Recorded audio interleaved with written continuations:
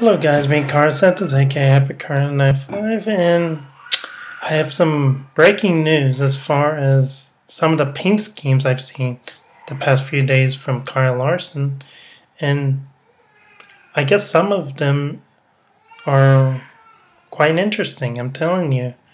Just to mix the color schemes and so forth, but still keep the same texture to be honest.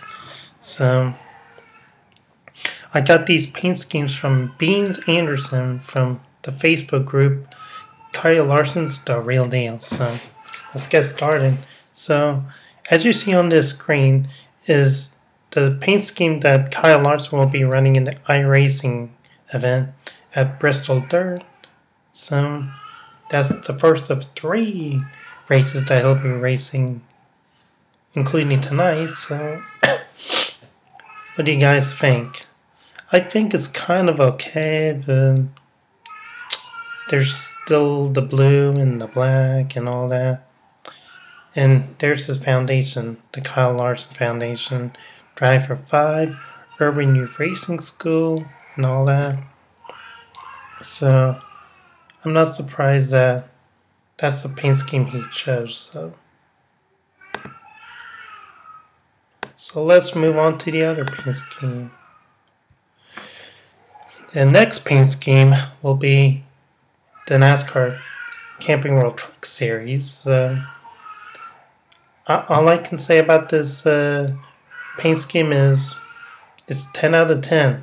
I like it because it's basically not a Rick Hendrick design scheme that Ricky Hendrick drove for a few years in the Busch Series, which is now the Xfinity Series. So, sponsorship from RichMar Florist, Circle B Diecast, Mobil One, and so forth. So, and they have CRC on the the back of the truck, you know, on the deck lid. So, RichMar Florist is not the first time that they've ever had sponsorship on any race team prior to this one. And basically, they've had races for Rick, Rick Ware, I believe, and I could have done some research, but I'll stick to Rick Ware Racing since they've had RichMar Florist. So I kind of like the teal, the black, and white paint scheme. It really fits into their uh, sponsorship model, or should I say, their expectations of how they're going to attack the track with this paint scheme, you know. Expect Kyle Larson to lead some laps in the truck series. So, let's move on to the next paint scheme, which is the third and final, and that is Kyle Larson's Freightliner Chevrolet for Hendrick Motorsports. It's the number five car, and it still says Tartan on the the side panel of the car, right in front of that uh, left front tire. So still the same thing. It's an okay paint scheme. As the Carolina Blue font color for the 5 and basically I would say added some more brown but just to what do you call it?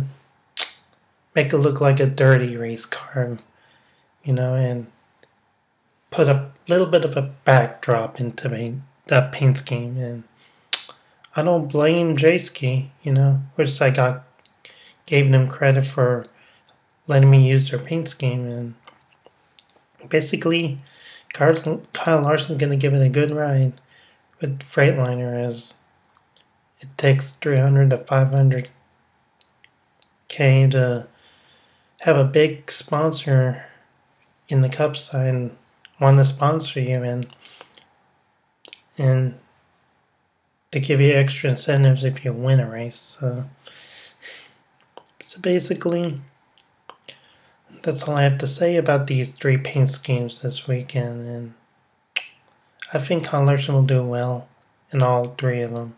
So I make a happy card night five. If you have any questions and concerns about the three paint schemes I showed you, don't hesitate me to give a thumbs up button if you like the video so much. Share a comment if you have something to share and give your feedback on what you thought about it. And don't forget to subscribe on the bell, but, bell button. So I'm AK Epic 95. Y'all have a great day and peace out.